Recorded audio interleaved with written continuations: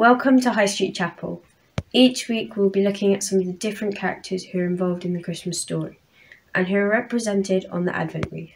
Today we are lighting the second candle. This is often called the Bethlehem candle and it speaks to us of love and faithfulness.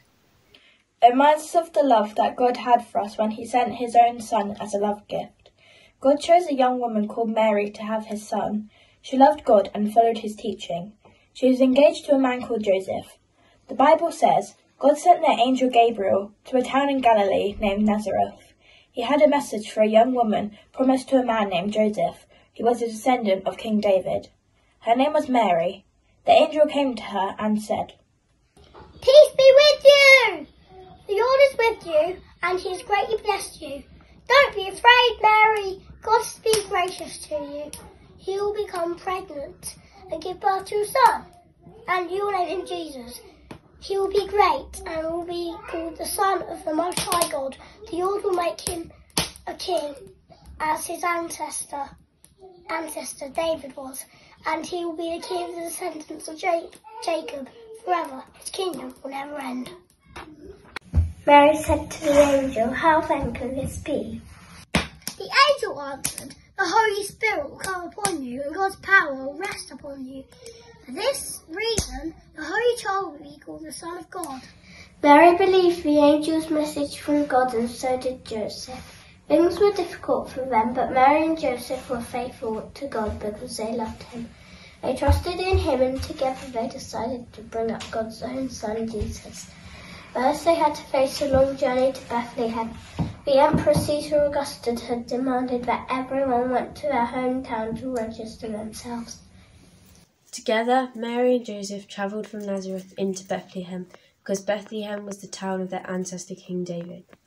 The Bible says, But you, Bethlehem, though you are small among the clans of Judah, you, out of you will come for me one who will be a ruler over Israel, whose origins are from old, from ancient times.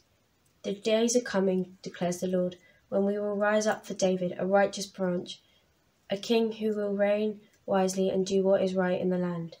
This is the name by which he will be called, the Lord our righteous Saviour. Mary and Joseph put their hope in God. They were faithful to him because of their love for him.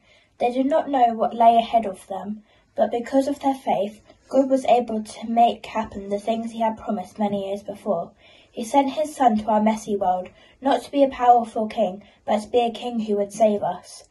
The Bible tells us what Mary thought about being the mother of Jesus. It says, all of me wants to praise God and say, Lord, how good and great you are. I thank God because He is the one who saves me.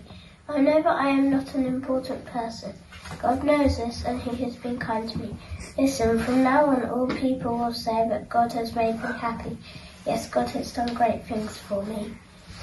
You may not feel important, but God wants you to have His gift of love. Let God do great things for you this Christmas. Let Jesus come into your heart. Let us light the candle of love.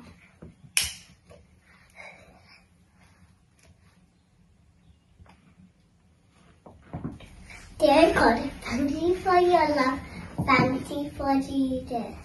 Thank you that when we have faith in you and receive your love, then you can do great things. Help us to remember this as we celebrate at Christmas time. Amen.